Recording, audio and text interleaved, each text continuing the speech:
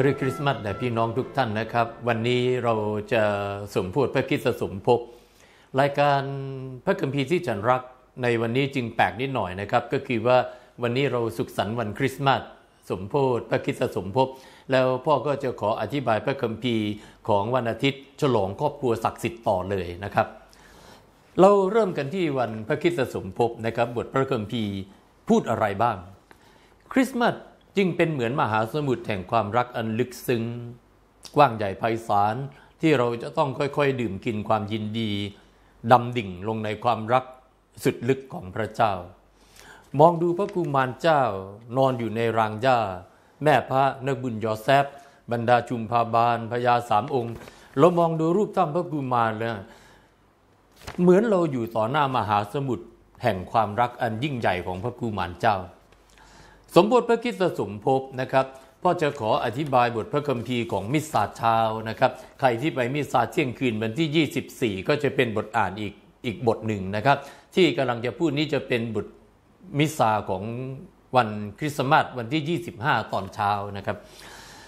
นี่อาจเป็นข้อความที่ลึกซึ้งที่สุดในพระวรสารของนักบุญยอห์นเลยก็ว่าได้ เพราะฉะนั้นเช้านี้เราไปวัดเราจะได้ยินพระวรสารของนักบุญยอห์น เป็นตอนเริ่มต้นพระวรสารของนักบุญยอห์นและสำหรับพ่อแล้วเนี่ยพ่อถือว่านี่เป็นพระคัมภีร์ที่ลึกซึ้งที่สุดของนักบุญยอห์นแล้ว ในบทพระวรสารที่ท่านเขียน เป็นข้อความเริ่มต้นพระวรสารของท่านที่เรานำมาอ่านกันในพิธีมิสซาเช้าวันพระคริสตสมภพเพราะว่าคริสต์มาสเนี่ยมีมิสซาทั้งหมด 3 รอบนะครับก็คือมิสซาเที่ยงคืนวันที่ 24 มิสซารุ่งอรุณวันที่ 25 และมิสซาเช้าวันที่ 25 บทอ่านที่เรากำลังพูดกันอยู่นี้คือบทอ่านของมิสซาเช้าวันที่ 25 นะครับ พิธีมิสซารุ่งอรุณก็จะต่อด้วยพิธีมิสซาเช้าใช่ไหมครับ เที่ยงคืนรุ่งอรุณเช้าทั้งหมด 3 รอบในวันพระคริสตสมภพแต่มิสซาเช้าเนี่ยเขาจะอ่านบทพระวรสารของนักบุญยอห์นนักบุญยอห์นเรียกพระบุตรว่าพระวจนาตถ์ซึ่งหมายถึงคำพูดของพระ เราอยากรู้ว่าพระเจ้าทรงมีพระประสงค์อะไร เราต้องรอพระเจ้าตรัสออกมา เราอยากรู้ว่าพระเจ้าทรงความรักเพียงใด เราไปมองดูที่พระบุตรเสด็จมาบังเกิดอย่างยากจน รับทนทรมาน สิ้นพระชนบนไม้กางเขน และกลับคืนพระชนมาชีพ พระเยซูเจ้าเป็นคำพูดอธิบายความรักของพระเจ้าต่อมนุษย์ และโลกจักรวาลที่ครบสมบูรณ์ที่สุดคำพูดของพระ หรือพระวจนะทรงรับธรรมชาติมนุษย์ และเสด็จมาประทับในหมู่เรา เราได้เห็นพระสิริลุ่งโรจน์ของพระองค์ เป็นพระสิริลุ่งโรจน์ที่ทรงรับจากพระบิดา ในฐานะพระบุตรเพียงพระองค์เดียว เปี่ยมด้วยพระหันสถานและความจริงนบุญยรเป็นคนแรกที่เรียกพระเยซูเจ้าหรือพระบุตรว่าพระวจนะนะครับ เมื่อแรกเริ่มนั้นพระวจนะทรงดำรงอยู่แล้ว พระวจนะประทับอยู่กับพระเจ้า และพระวจนะเป็นพระเจ้า พระองค์ประทับอยู่กับพระเจ้าแล้วตั้งแต่แรกเริ่ม พระเจ้าทรงสร้างทุกสิ่งอาศัยพระวจนะไม่มีสักสิ่งเดียวที่พระเจ้าไม่ทรงสร้างโดยทางพระวจนะชีวิตอยู่ในพระองค์ และชีวิตเป็นแสงสว่างสำหรับมนุษย์ แสงสว่างส่องในความมืดและความมืดกืนแสงสว่างนั้นไม่ได้ อะไรที่เขียนออกมาอย่างลึกซึ้งก็แปลว่าคนเขียนได้เข้าใจสิ่งนั้นอย่างซาบซึ้งยิ่งกว่าคนอ่านสองเท่า นบุญยรได้เห็นได้สัมผัส ได้ฟังองค์พระวจนะตลอดเวลาที่พระองค์ทรงเทศสอนและดำรงพระชนชีพในโลก ผู้ใดที่ยอมรับพระองค์คือผู้ที่เชื่อในพระนามของพระองค์ พระองค์ประทานอำนาจให้ผู้นั้นกลายเป็นบุตรของพระองค์ เป็นบุตรของพระเจ้า เขาไม่ได้เกิดจากสายเลือดไม่ได้เกิดจากความปรารถนาตามธรรมชาติไม่ได้เกิดจากความต้องการของมนุษย์ แต่เกิดจากพระเจ้า คริสต์มาสจึงเป็นเหมือนมหาสมุทรแห่งความรักอันลึกซึ้ง กว้างใหญ่ไพศาลที่เราจะต้องค่อยๆ ดื่มกินความยินดีดำดิ่งลงในความรักสุดลึก และค้นหาความหมายปีแล้วปีเล่าไม่มีจบสิ้น เพราะพระเจ้าตรัสกับเราใหม่ทุกวันคำพูดของพระใหม่สดทุกเช้า เมื่อตื่นนอนแล้วเงี่ยหูฟัง พระวจนะทรงรับโอกาสและมาประทับอยู่ท่ามกลางเรา ให้เราได้เข้าไปสัมผัส ในสินมหาสนิท ไปฟังพระวาจาพระเจ้าตรัสในการอ่านพระคัมภีร์ มองดูพระองค์ในชีวิตเพื่อนพี่น้องผู้ต่ำต้อยยากจน ในอดีตพระเจ้าตรัสกับบรรพบุรุษของเราโดยทางประกาศสุขหลายวาระและหลายวิธี ครั้นสมัยนี้เป็นวาระสุดท้าย พระองค์ตรัสกับเราโดยทางพระบุตร บทอ่านที่สองเป็นประโยคเริ่มต้นของหนังสือเช่นกันนะครับ ที่พ่ออ่านจบไปนี้เป็นบทอ่านที่สองจดหมายถึงชาวฮีบรูนะครับผู้เขียนเป็นใครไม่รู้ แต่เขียนไปหาชาวยิวซึ่งพวกเขาเรียกตัวเองว่าชาวฮีบรู จากเนื้อหาผู้เขียนคงเป็นชาวยิว บางทีอาจจะเป็นสมณะด้วย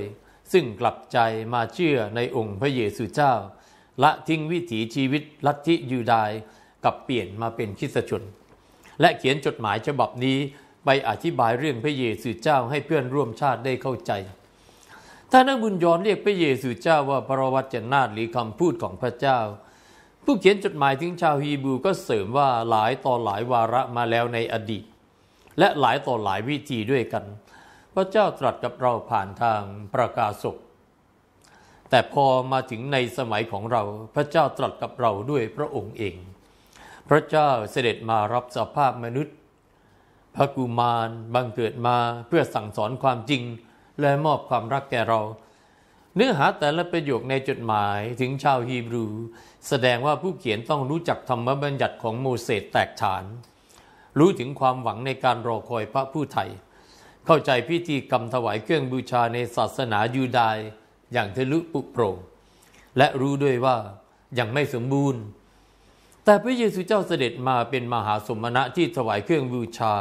ชำระบาปอย่างแท้จริง โดยการสิ้นพระชนบนไม้กางเขน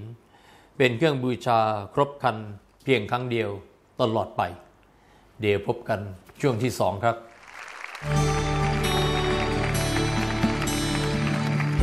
ครอบครัว สถาบันแรกที่ชี้ชัดถึงความสงบสุขของสังคม มาเริ่มสร้างสันติสุขในครอบครัวเสียแต่วันนี้ พื่อส่งเสริมสันติภาพโลกในวันหน้า สื่อมวลชนคาทอลิกประเทศไทยให้ความสำคัญกับสถาบันครอบครัวเสมอ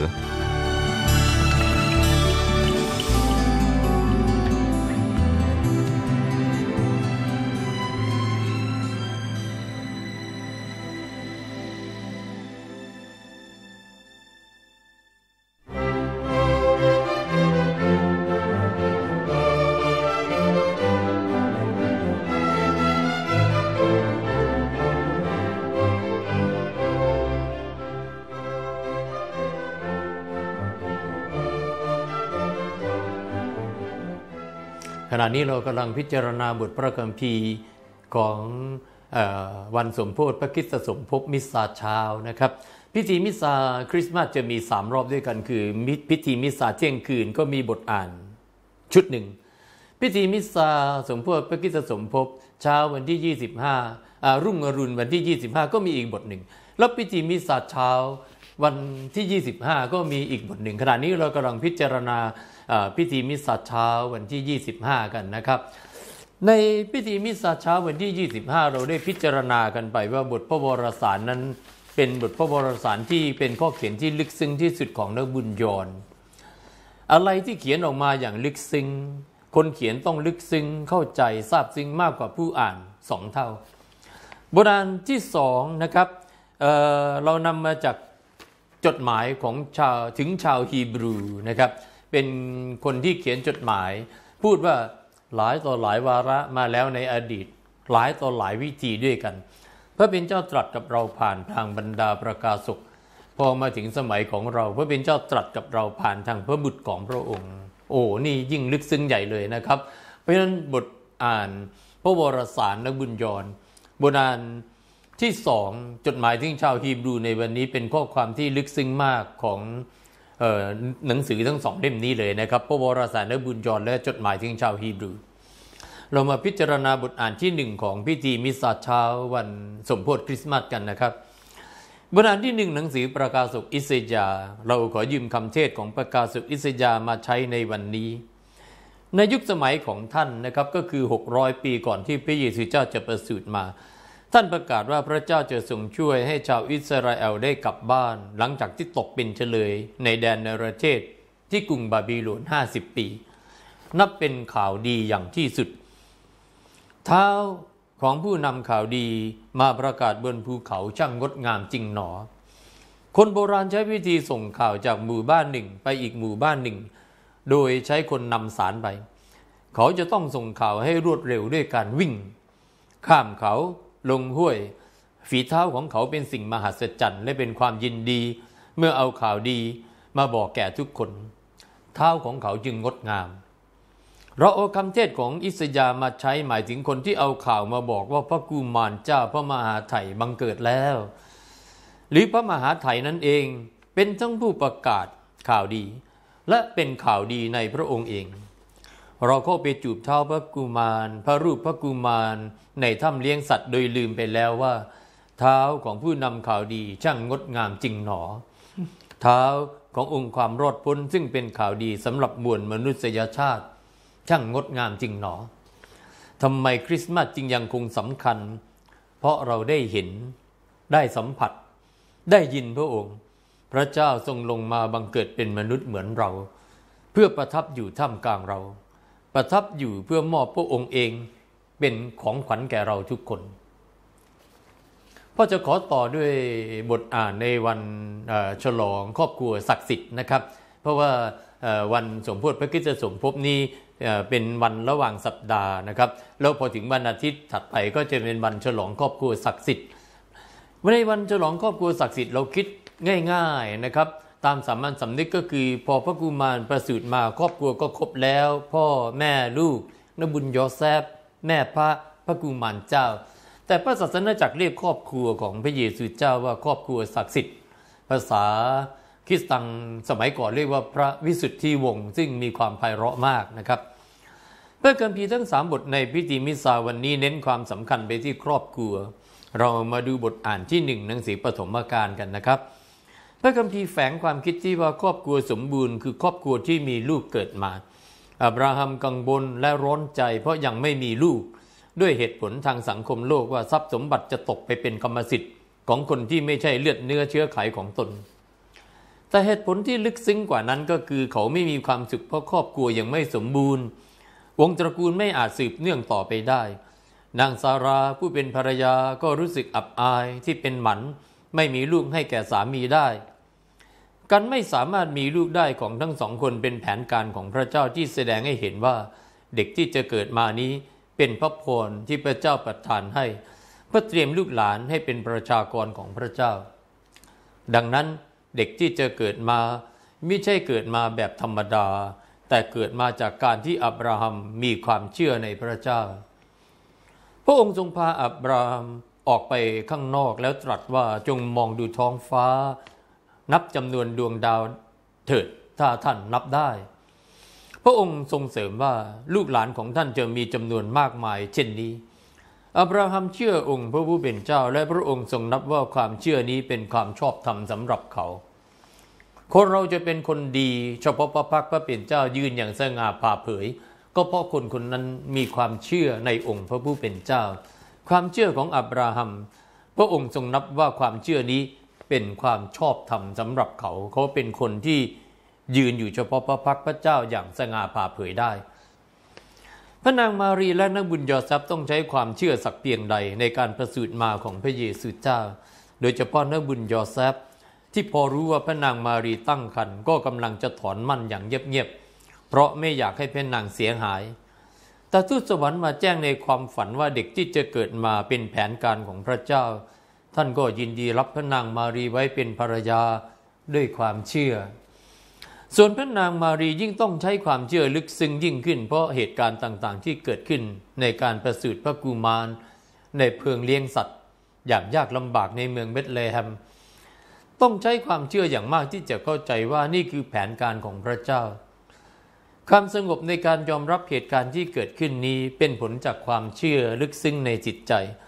ซึ่งก่อเกิดความสงบสันติในชีวิต สักวันหนึ่ง พอเราเป็นพ่อแม่คน เราก็จะเห็นด้วยกับเรื่องนี้ ความเชื่อในพระเป็นเจ้าช่วยให้เรารอดชีวิต ผ่านวันเวลามาจนถึงวันนี้ได้ เดี๋ยวพบกันช่วงที่สามครับ สันติสุขในครอบครัว คือบ่อเกิดแห่งสันติภาพโลก เติมความรักให้ครอบครัวเพียงวันละนิด เท่ากับรถน้ำให้สันติภาพโลก หยดหนึ่งแล้วร่วมสร้างสันติภาพโดยสื่อมวลชนคาทอลิกประเทศไทยค่ะ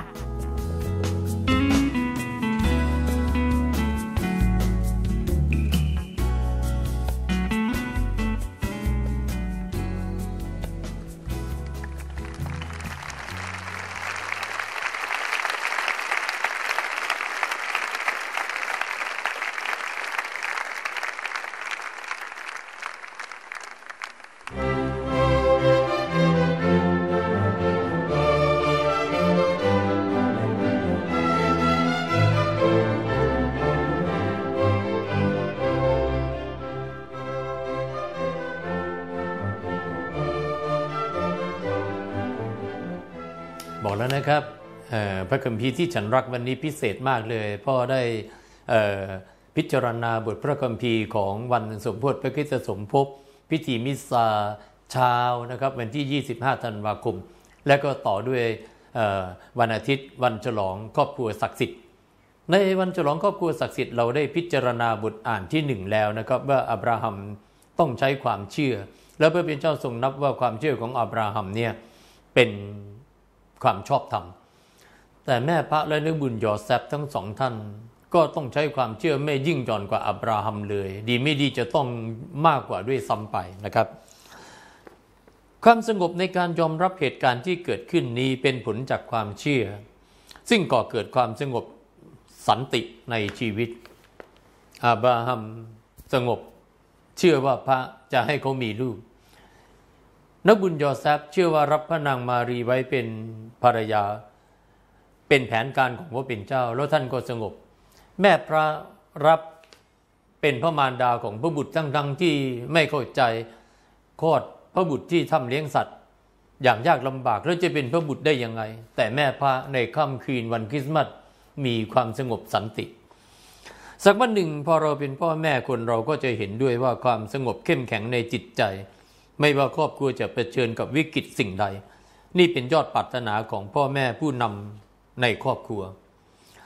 แต่ความสงบท่ามกลางวิกฤตทุกยากลำบากจะต้องใช้ความเชื่อในองค์พระผู้เป็นเจ้าอย่างมาก พระวาจาของพระเจ้าในบทอ่านที่หนึ่งจึงมีจุดหมายมุ่งบอกเราว่าครอบครัวจะยืนหยัดในสถานการณ์ต่างๆ ได้ ก็เป็นครอบครัวที่มีความเชื่อในพระเจ้า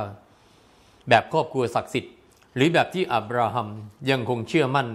เชื่อฟังพระเจ้าท่ามกลางความแก่เฒ่าและภรรยาที่เป็นหมัน บทอ่านที่สองจดหมายถึงชาวฮีบรู ผู้เขียนเป็นชาวยิวกับใจมาเป็นคริสตชน เขียนจดหมายไปสอนเพื่อนร่วมชาติชาวยิว เขาจึงรู้จักอับราฮัมบรรพบุรุษของเขาอย่างดี แต่เขามุ่งมองไปที่อับราฮัมว่าเป็นผู้ชอบธรรมเพราะมีความเชื่อในองค์พระผู้เป็นเจ้า เพื่อสะท้อนให้ชาวยิวรู้ว่า ธรรมบัญญัติของโมเสสที่เป็นประชากรของพระเจ้า ต้องถืออย่างเคร่งครัดเพื่อจะเป็นคนศักดิ์สิทธิ์นั้น เป็นของดีก็จริง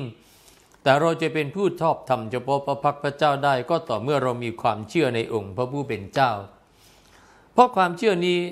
จะสืบเนื่องต่อมาเพื่อเชื่อในองค์พระเยซูเจ้าเมื่อถึงยุคพันธสัญญาใหม่